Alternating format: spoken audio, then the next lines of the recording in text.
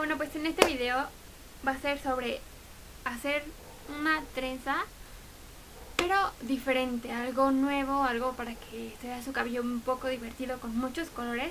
Y pues nada, espero que les guste, que lo intenten hacer, que me dejen sus fotos en Facebook por si lo intentan hacer.